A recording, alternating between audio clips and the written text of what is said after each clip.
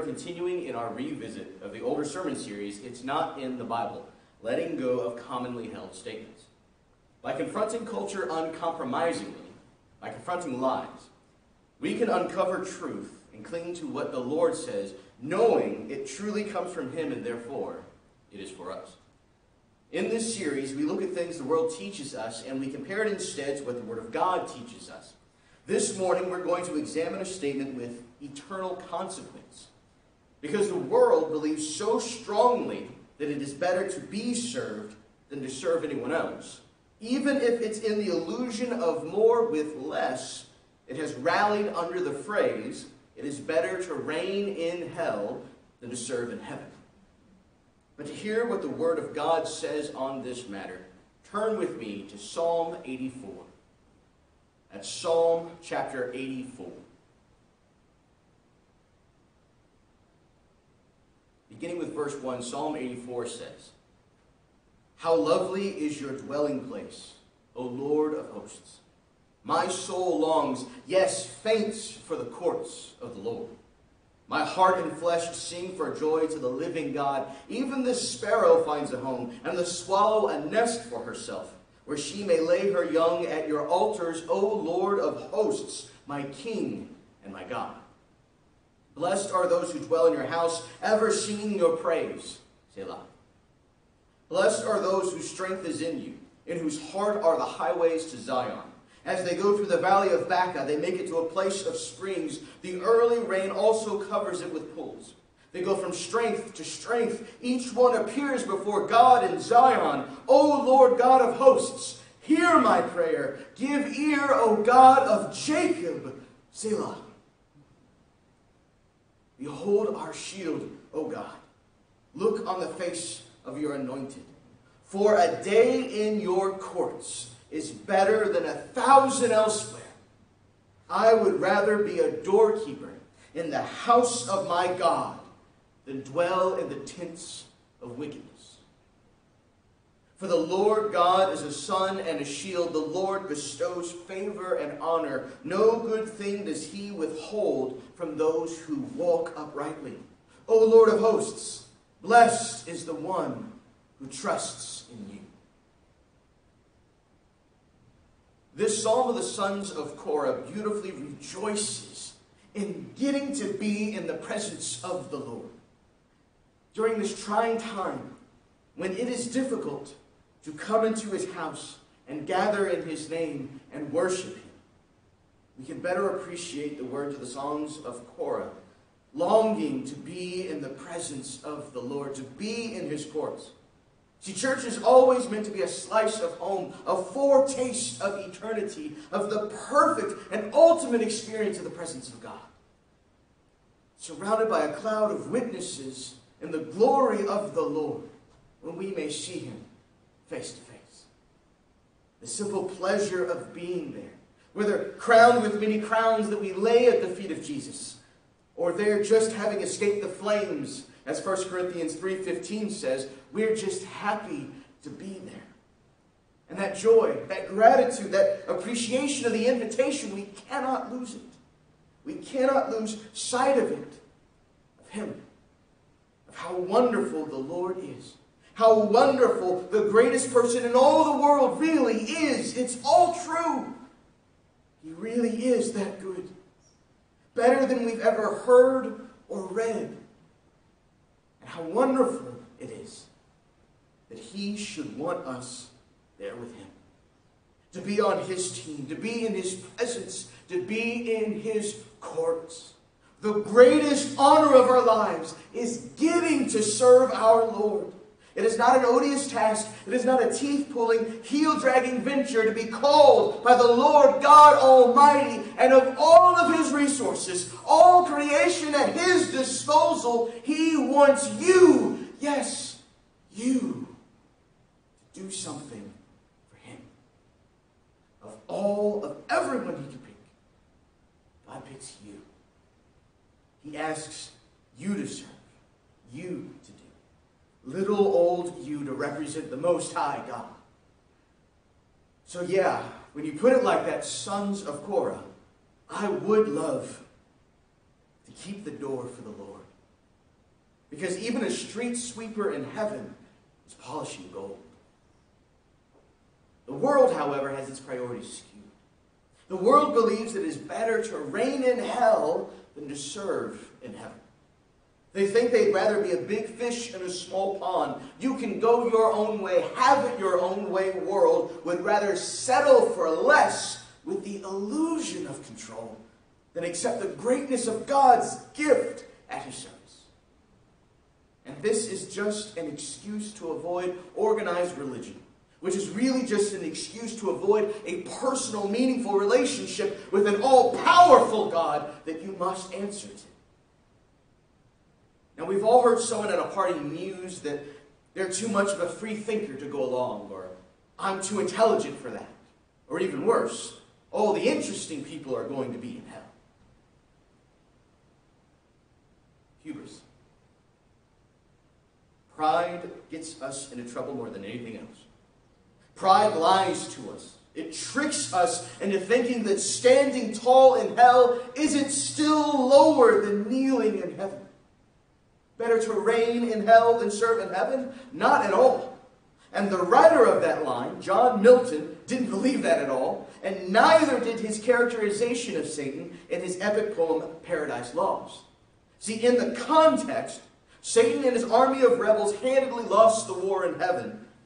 And having the hubris to think that they can overthrow God, they are cast into hell. And then Satan merely tried to trick his own troops into thinking their damnation some kind of victory because he needed to delude them into still following him.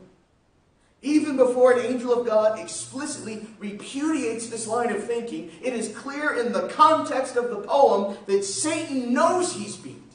He just doesn't want anyone else to know it too. There is no glory in damnation. There is no victory in rebellion. There is no solace in hell. And no matter how heavy the burden of service is to the Lord, the serving is the victory even through suffering.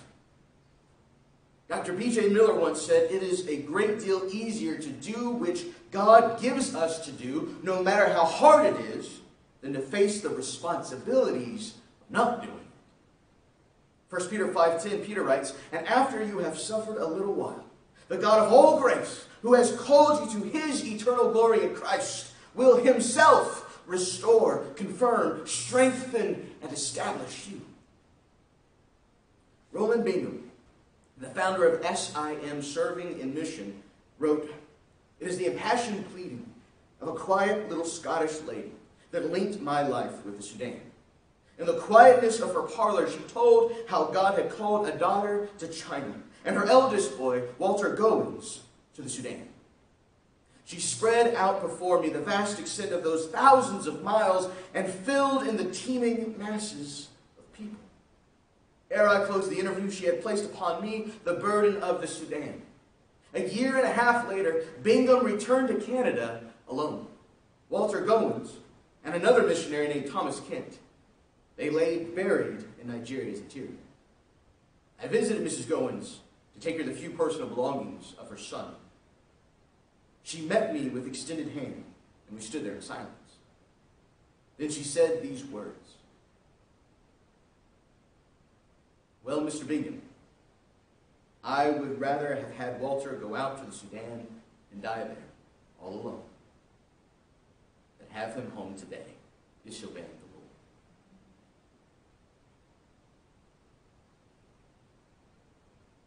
There is great honor in pursuing God's glory by picking up your cross, denying yourself, following Christ, really following Christ. Service to God does not lessen you, elevates us.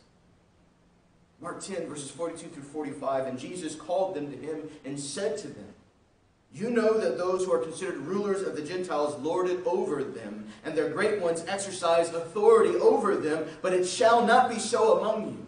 But whoever would be great among you must be your servant.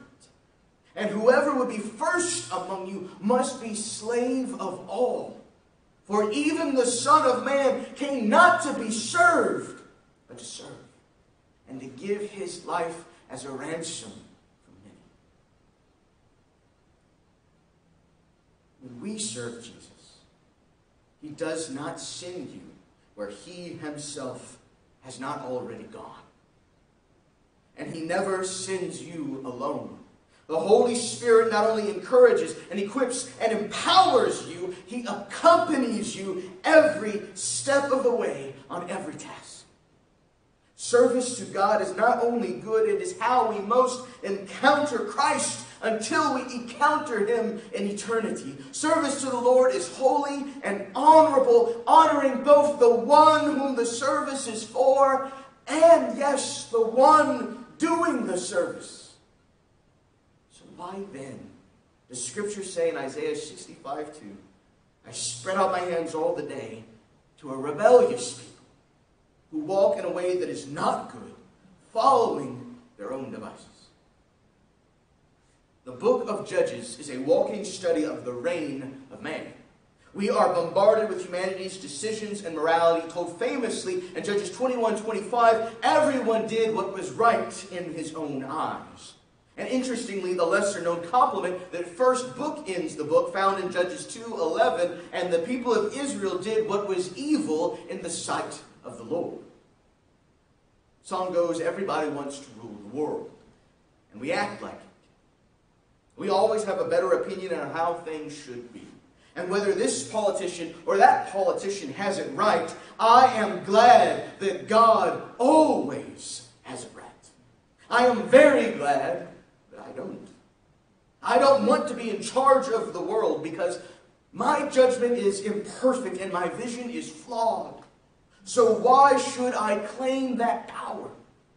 Leave it to the one with perfect wisdom and perfect insight. Only by his perfect power can this crazy world be navigated to providence. After all, the world is safely hurtling around the sun at roughly 66,000 miles per hour, and I know none of us are driving it. Psalm 19.1 says, The heavens declare the glory of God, and the sky above proclaims his handiwork. So perhaps the stars and the galaxies that we are not colliding into are providing testimony to the trustworthiness of God to have the whole world in his hands and not ours. And in order to serve and to stop trying to reign, we need to trust.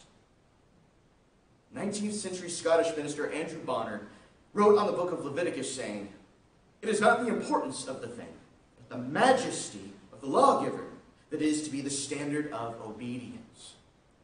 Some indeed might reckon such minute and arbitrary rules as these as trifling, but the principle involved in obedience or disobedience was none other than the same principle which was tried in Eden at the foot of the forbidden tree. It really is this Is the Lord to be obeyed in all things whatsoever? Is he a holy lawgiver? Are his creatures bound to give implicit assent to his will? Basically, is God worthy to be obeyed? If he is, then obey him. If he is not, then do not obey him. But don't quibble on this rule or that rule, or our agreement with this principle or our disagreement with that principle. Either He is God or He isn't. And if He is God, if He is worthy to be praised, if He is righteous in all that He does, if He is wiser than anyone, if He is always right, if He is God, then obey Him.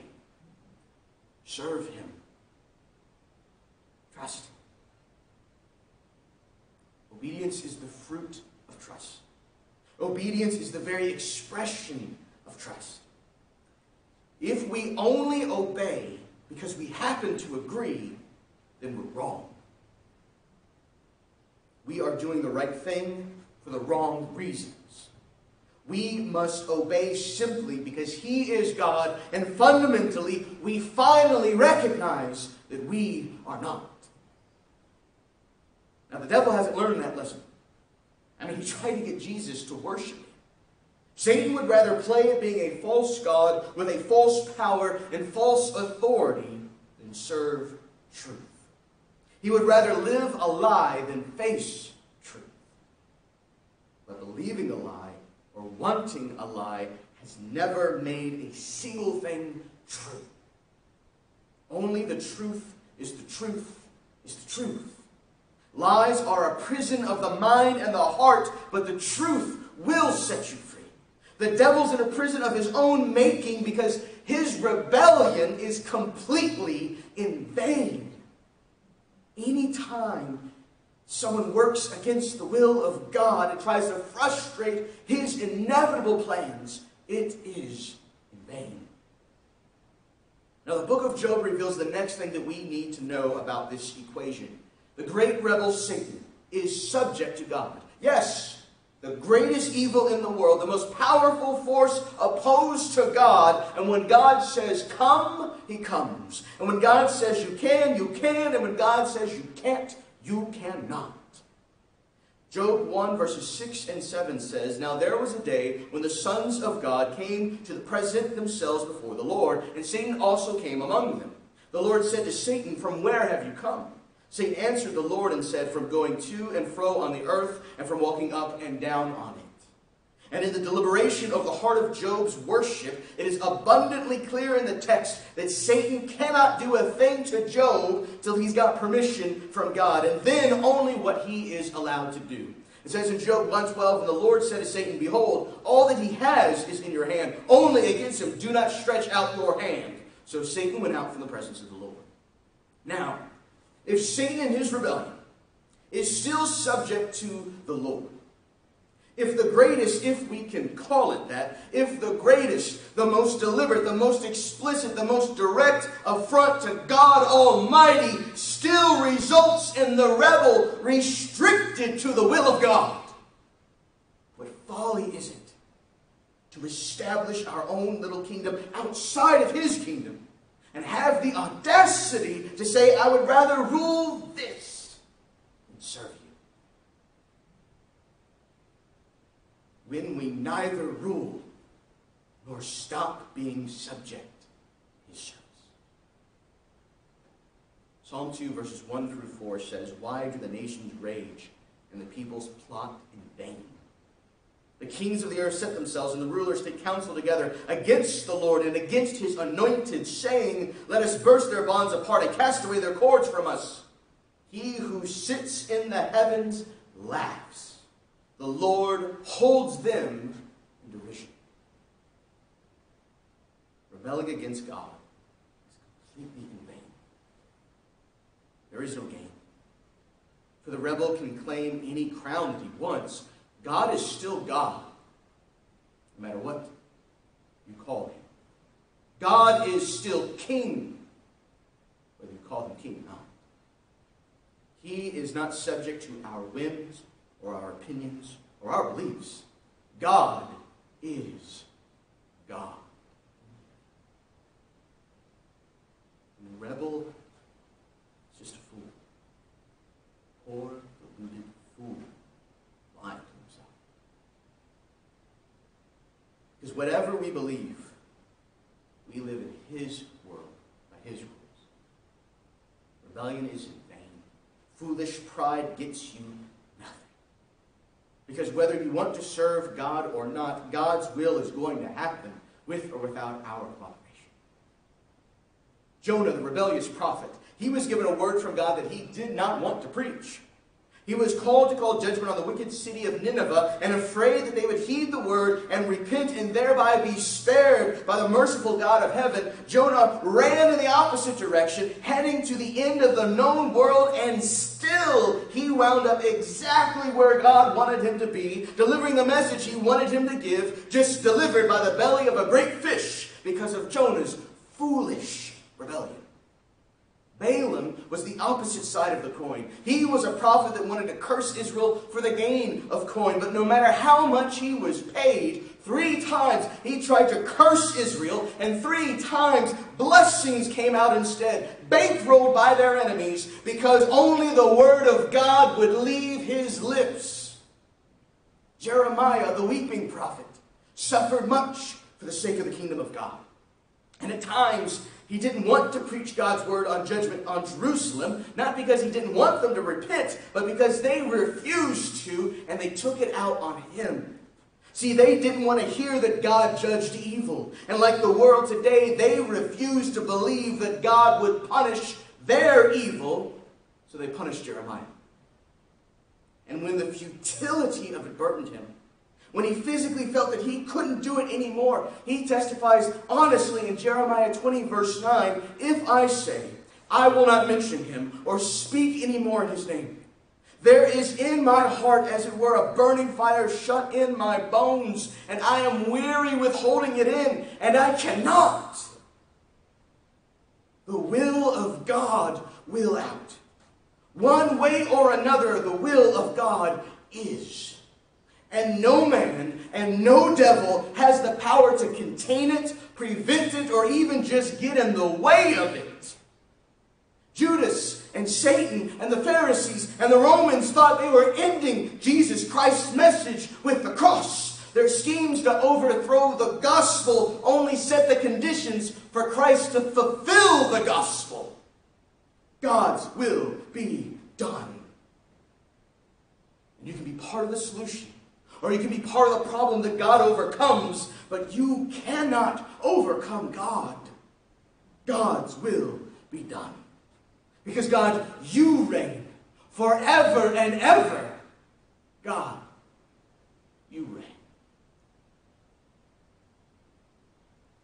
And as for the devil, he does not reign in heaven.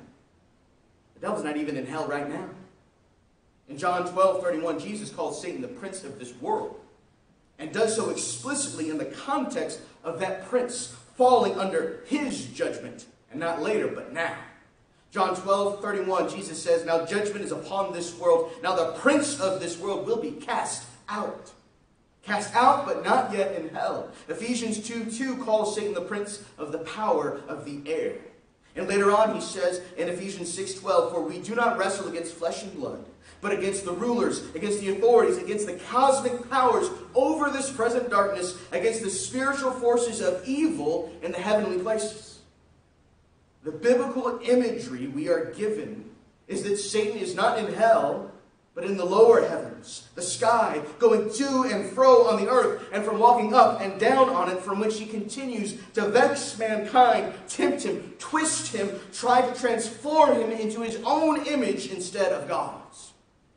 The image not of the glory of God, made to serve him, made to be with him, made to be loved by him and reflect him in all that we say and do, but instead, the perverse image of the devil the deceiver and the deceived, a willful rebel with no regard for himself, let alone what's right.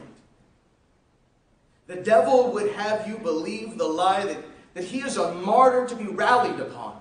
He may have lost, he may be losing, but at least he's doing it his way, and you can do it your own way too, if you do it his way and serve him. Follow him. the traitor's course is not a domain of your own, but to be subject to the grave, and enslaved to sin. To be his. Oh, he'll let you think you're doing it on your own. That you're a unique rebel that conforms to no one as you follow the same broken path that leads all away from God. Why would anyone look to the devil for advice? He's a liar. And he's a loser. The prince of lies vanquished by the God of truth. See, even as the prince of the power of the air, he is nothing. Power, his authority, his might, his strength, his will, his rule as the prince of the power of the air. And where does Christ return, beloved? From where does Christ return? In the glorious appearing our expectant hope. Jesus returns in the air. 1 Thessalonians 4:16 For the Lord himself will descend from heaven with a cry of command, with a voice of an archangel, and with the sound of the trumpet of God, and the dead in Christ will rise first. Jesus Christ charging his return in power and power and glory to plunder the grave by piercing right through the stronghold of the devil. Luke 21, 26 and 27, for the powers of the heavens will be shaken. And then they will see the Son of Man coming in a cloud with power and great glory. Christ goes right through the devil's territory unopposed. God's glorious revelation, and it begins by showing how futile the reign of the devil always was. Ephesians 1 verses 19 through 23 says, And what is the immeasurable greatness of his power towards us who believe? According to the working of his great might that he worked in Christ when he raised him from the dead and seated him at his right hand in the heavenly places, far above all rule and authority and power and dominion, and above every name that is named, not only in this age, but also in the one to come. And he put all things under his feet and gave him his head over all things to the church, which is his body, the fullness of him who fills all in all. Jesus reigns. The devil is ousted in the end. And his last vain attempt, his last spiteful act, will be to convince an army of humanity one more time that it's better to reign in hell than to serve in heaven. He'll array an immense army as vast as the sands of the sea of people who do not want to serve in heaven, but follow Satan into battle against God. And as soon as they are assembled, as soon as they march upon the camp of Christ, they are immediately consumed by fire from heaven and cast into the fires of hell. Once the devil is cast into the pit and it is sealed, he's done. His story is over. There is nothing more to tell. The devil isn't going to be spending eternity reigning hell. He's trapped in it. The great irony of the devil is that his last rebellion, his last act, is actually service to God, assembling all the rebels to fall manner at all, accomplishing nothing of value to him or any of them, but to pave way, peace, paradise eternal. What good is your rebellion if you're still subservient? If you're still subject to the reign of the king? What would it profit you to cast aside the blessings of his favor if you are still subject to his judgment? And power? James 2.19 says, You believe that God is one. You do well. Even the demons believe and shudder. Even the demons. Foolish enough to rebel. Wise enough to know God's. So we can talk in the abstract and we can discuss theory, but the Word of God gives testimony to our issue. Luke chapter 8, verses 27 through 33. As Luke 8, 27 through 33 says, when Jesus had stepped out on land, there met him a man from the city who had demons. For a long time he had worn no clothes, and he had not lived in a house but among the tombs. When he saw Jesus, he cried out and fell down before him and said with a loud voice, What have you to do with me, Jesus, Son of the Most High God? I beg you, do not torment me. For he had commanded the unclean spirit to come out of the man. For many a time it had seized him. He was kept under guard and bound with chains and shackles, but he would break the bonds and be driven by the demons into the desert. Jesus then asked him, What is your name? And he said, Legion, for many demons had entered him. And they begged him not to command them to depart into the abyss. Now a large herd of pigs was feeding there on the hillside, and they begged him to let them enter these. So he gave them permission. Then the demons came out of the man and entered the pigs, and the herd rushed down the steep bank into the lake and drowned. This isn't the opinion of one. This isn't a small sample size. Legion isn't so much a name as it is a head count. The word legion in Hellenized Judah under Roman occupation meant a very specific thing. It unquestionably conjured in the mind the Roman army, a legion of which was 5,000 strong. And these unclean spirits, Possessing this man possessed the strength, the power to snap chains and shackles, and immediately, seeing the Christ, they bowed down in his presence and begged him for mercy. They don't put up a fight. They don't even try to run. They beg. They grovel before God's Son and they gladly obey His command in escaping into a herd of swine that commit suicide by dashing themselves into the sea to drown rather than go into the abyss. Now ask yourself, with this evidence, with the testimony of a legion of demons that would rather die for Christ than go into the abyss, is it better to reign in hell than to serve in heaven? Do yourself a favor and ask yourself is hell a joke? Do not take hell lightly because it won't take you lightly. We only consider hell a joke because that's the only way we'll consider it at all. It's the only way that we can comfortably handle it. Hell isn't comfortable. It's not slightly warm with rags and dirt. It is not prison. It is not second best. It is not where all the interesting people are. Hell is hell.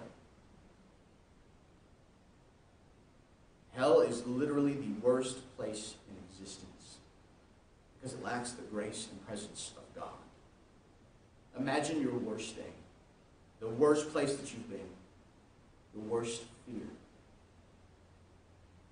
But it never ends. And it never gets better. And it's far worse than whatever you're imagining. Hell is real. No matter how much you don't want it to be. No matter how angry you get with God for exercising his right and his duty to condemn and contain evil eternally in hell, hell is Mankind has tried to erase the existence of hell as a consequence in lukewarm modern theology and the fear of hell by simply making it a punchline. Now, I'm not going to go into all the illogical foolishness of universalism. I will cut to the quick and simply say that the vast majority of verses referencing hell are direct quotes of Jesus Christ. The majority of what we know about hell is written in red letters, and Jesus would know because he went there for you. When Jesus died on the cross, bearing all the sins in the world, he did not go to heaven. When he experienced the Father forsaking him for our sake, he made the only escape route out of the grave, the only get out of jail free card we're ever going to get, and the only one that we need. When we belittle the reality of hell, we undermine the value what we are offered in Christ. We rob the gospel of the good news if we strip it of the context of our salvation.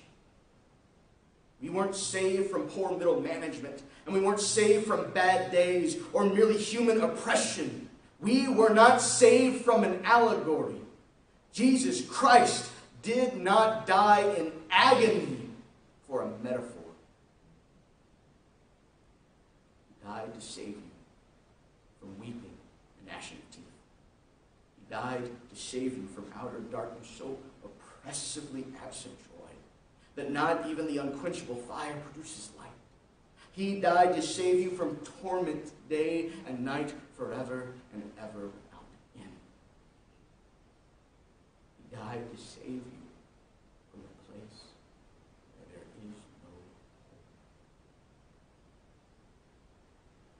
Son of God did not waste his life on an inconvenience or a joke. Jesus Christ died to give you hope.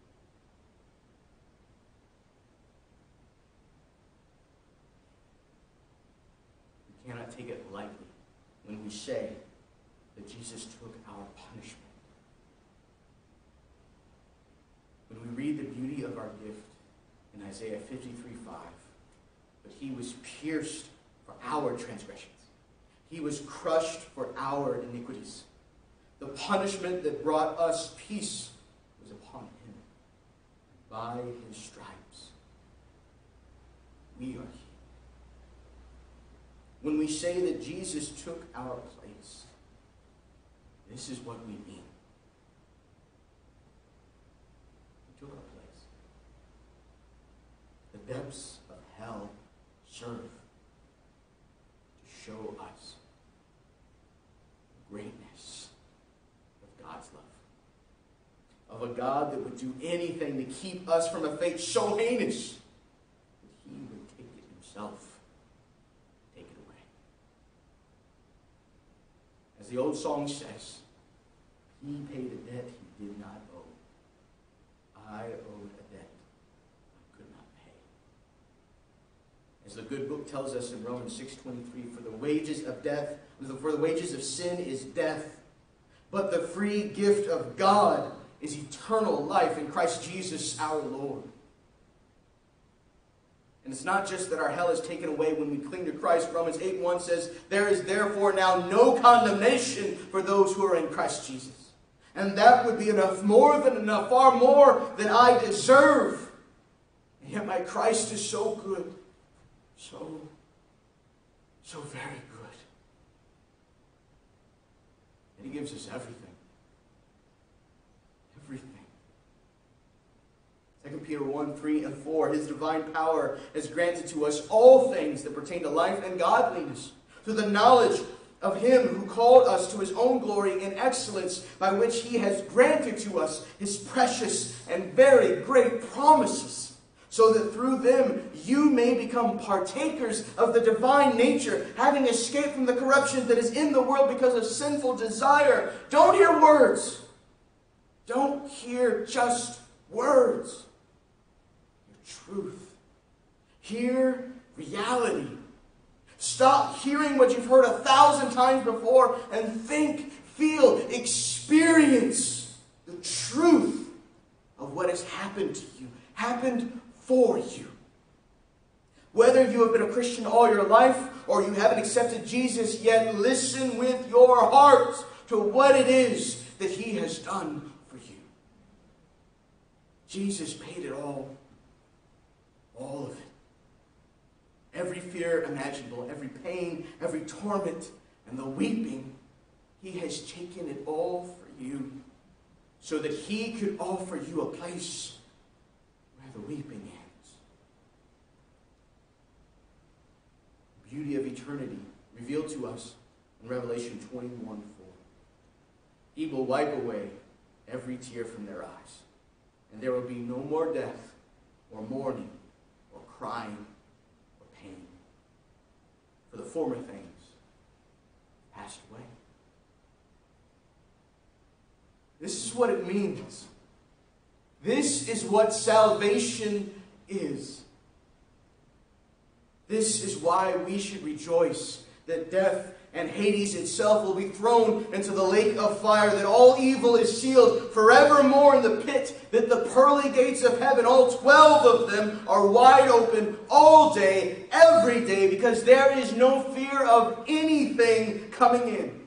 That there is no night, only one eternal day, because we are basking forever in the light of Jesus Christ.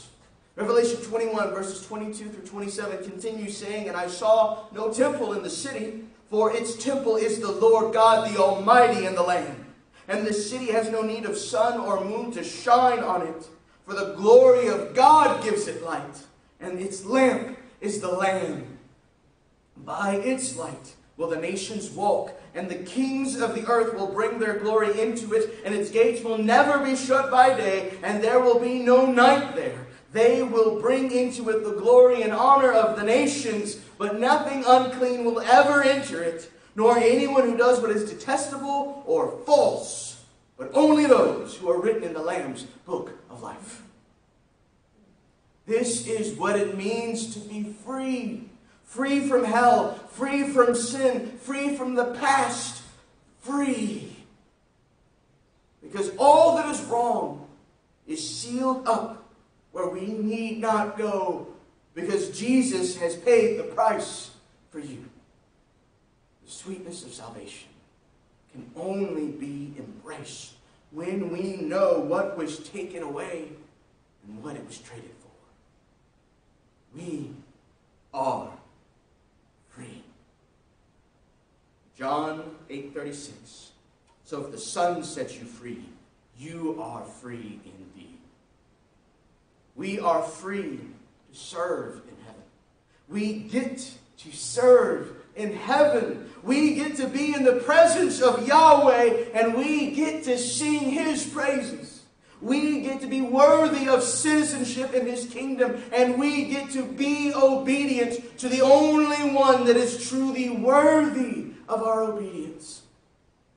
Once we let hubris die and die to self, Christ is our gain, and we discover, beloved, the great plan of God was not the mutually exclusive forced decision that the world and the devil would have you believe. It is all a lie. Because the truth is, the plan of God is that we serve in heaven and we get to reign in heaven, kings of the new earth and co heirs with Christ Almighty. 1 Corinthians 6 3. Do you not know that we are to judge angels? Psalm 37 11. But the meek shall inherit the earth. 1 John 3 2, Beloved, we are God's children now, and what we will be has not yet appeared, but we know that when He appears, we shall be like Him, because we shall see Him as He is. And Romans 8 17, And if children, then heirs, heirs of God, and fellow heirs with Christ providing we suffer with him in order that we may also be glorified with him. This is what it means to serve in heaven. This is what it means. So choose you now. What is better? To reign in hell or to reign in heaven? What is better? The pride of Satan or the humbleness of Christ that poured himself out to make you his co heir and took away all that you deserve in order to give you all that he deserves. Hallelujah! Jesus reigns, and by his reign, we get to serve him and reign with him. For a day in your courts is better than a thousand elsewhere. I would rather be a doorkeeper in the house of my God than dwell in the tents of wickedness. Pray with me. Heavenly Father, we thank you, God. We thank you that you sent us your Son, and with your Son, the promise of victory. With your Son, love and acceptance. With your Son, the King this world desperately needs. With all the failed leadership and the flawed ideas and the foolishness that reigns in this world the prince of the power of the air, vexing this world. We need the true king, and you gave him to us. And one day, one glorious day, the true king will return and reign and free us from foolishness, free us from pride, free us from vanity. Vanity, all is vanity, so that we may understand truth, serve you with all of our hearts and with freedom. Be given the dominion that you planned for us in the garden. Be given a gift to partake, combine, and have all things that pertain to life and godliness. If we would only, Lord, humble ourselves and surrender to your plan for us we can discover that it's far better than plan that man or devil could ever come up for us. Thank you, God, that you reign, that you are right, that you are good, that you are God, that you are worthy to be praised. Thank you, God, for your reign. And thank you, God. Thank you, God, that despite my own foolishness, you would choose. Ask me to serve you. I ask, Lord, that all the hearts would heed your call to serve you and discover truth, discover grace, discover love, discover your glory. In Jesus' name, humble us, Lord, to pray.